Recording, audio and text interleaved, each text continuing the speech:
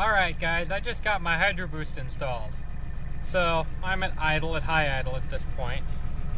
If I put on the brakes, so I'm just gonna barely tap it, goes down a little bit.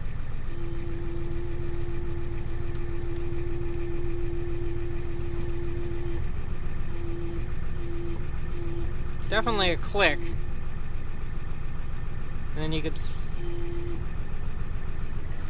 you can see that it's moving just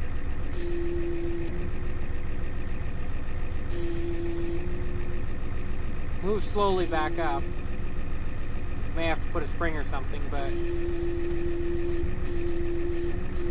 there's, there's definitely this click.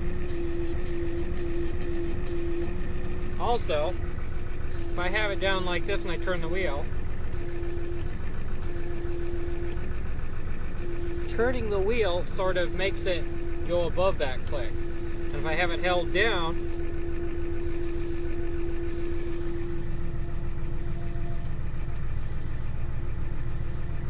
turning the wheel certainly makes it harder.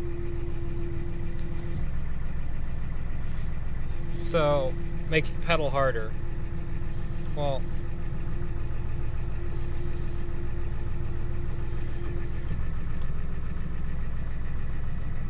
You know what? I miswired this thing.